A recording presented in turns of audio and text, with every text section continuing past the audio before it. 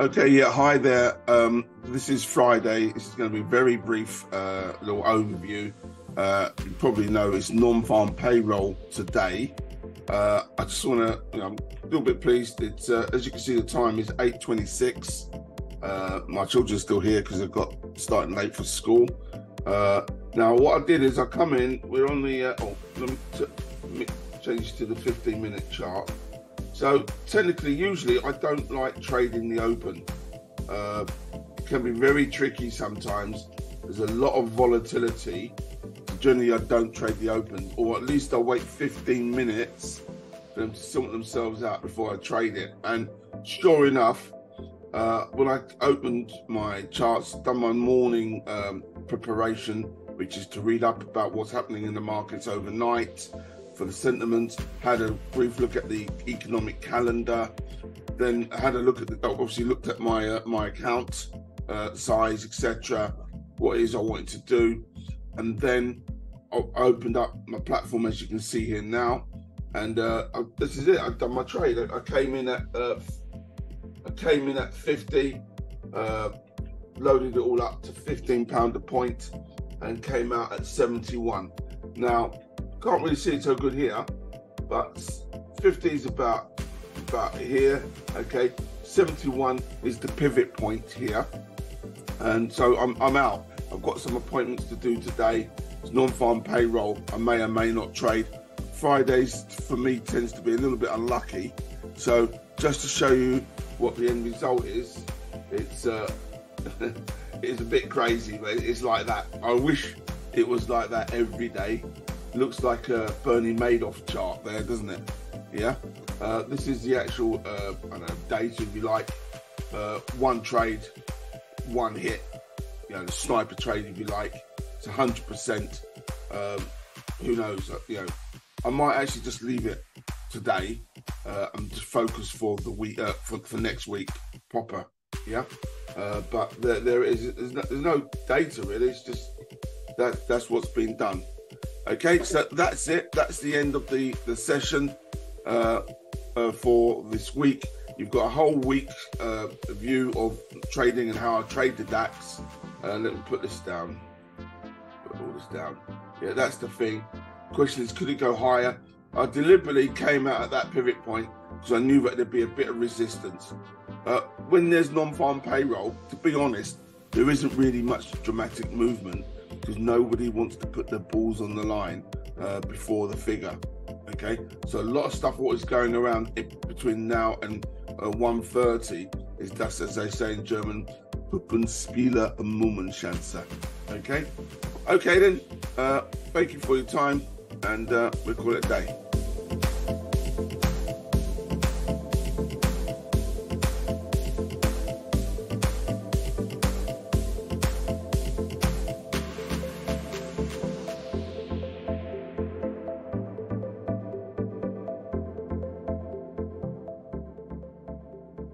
Okay, uh, hi there. Uh, this is a postscript uh, to my initial report. I just want to take you through the last, well, basically, uh, since I started uh, afresh uh, trading, which was last week, mid last week. so what I'll do is I'll show you in terms of the the results, if you like. so let me just share screen. So uh, here you can see, see,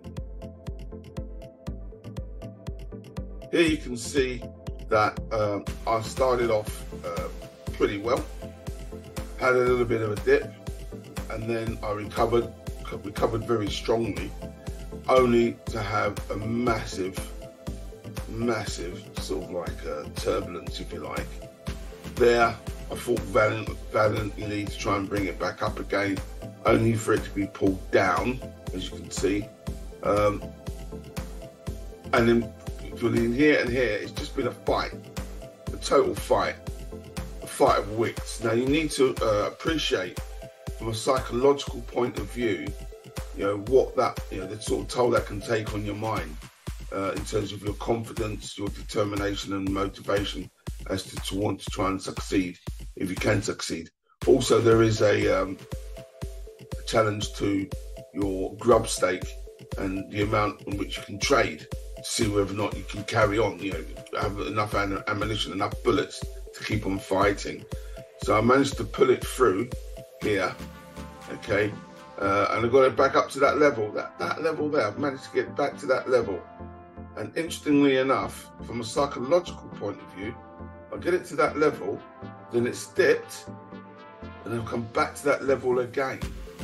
And then it's dipped, and then I've finally surpassed that level, and then dipping again and again. Yeah, so the equity curve is almost acting a bit like a, a chart sometimes. Now, in pounds, shillings, and pence, what does that mean? Uh, let's bring it over. Pounds, shillings, and pence. What what it means is that um,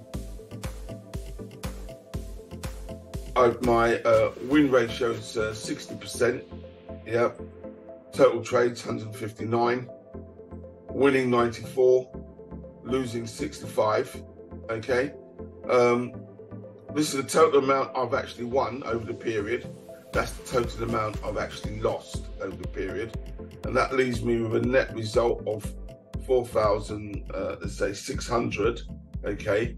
Uh, given my uh, grub stake was precisely 4,750. That gives me a profitability over that short period of 96%. Okay, so yeah, uh, I'm going to leave you what my um, standard uh, sort of um, uh, trading plan is. Uh, and I think we'll just leave it at that. Thank you very much. Okay, so.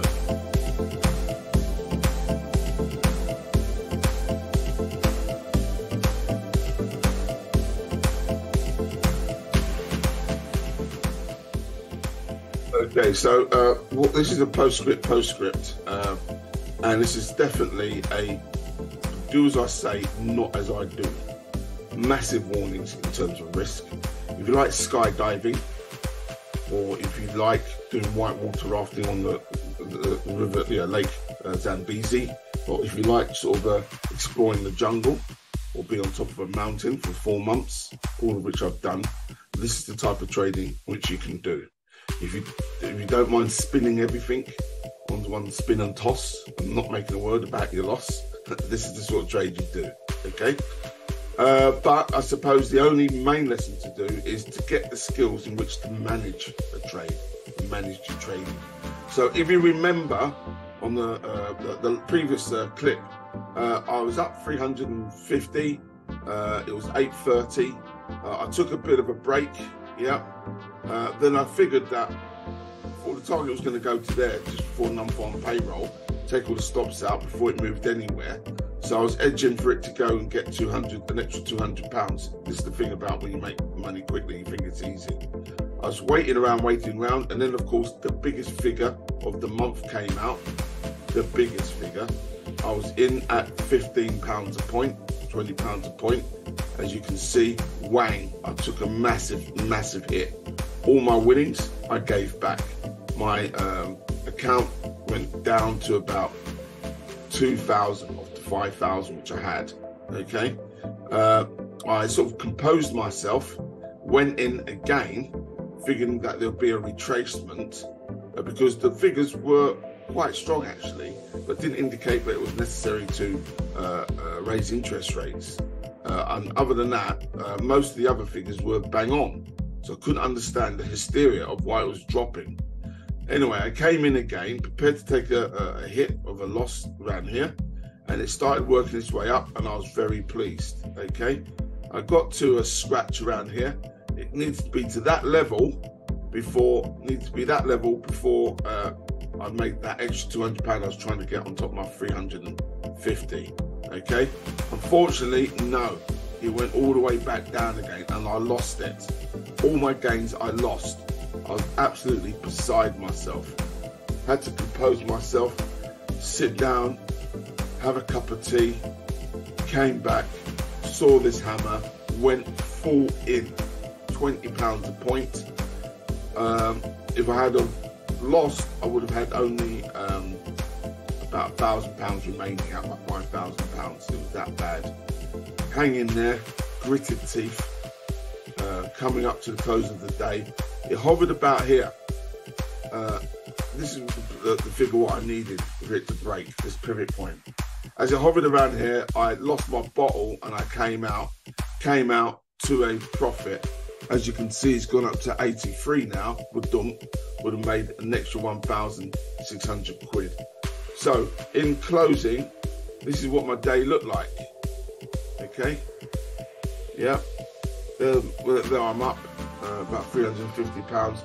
I took that massive, massive hit all the way down, made all that money back on. I called it my the trade. I called it is the uh, torpedoed boat sailing back to hard harbor trade.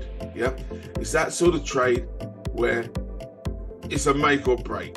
Yeah, you know the old uh, World War II films, black and white, where the boat's been torpedoed many times, it's having sailed in the Atlantic.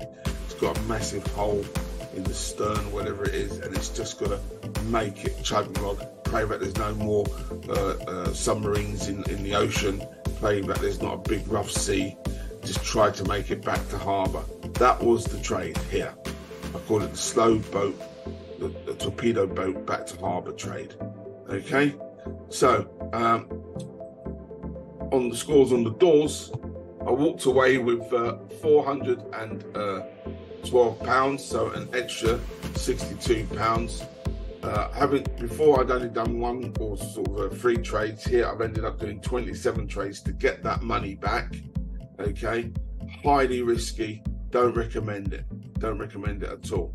I think there's a lot going for it if you say, you know, to know when to quit. Know when to quit. Okay, that's it. That that's the last post. Just don't, yeah, it's a hell raising day. That's what I can say. Hell raising. Well, that's the end of another video. Thank you for your time. If you liked it, please subscribe, like, and also share to three of your friends to spread the word.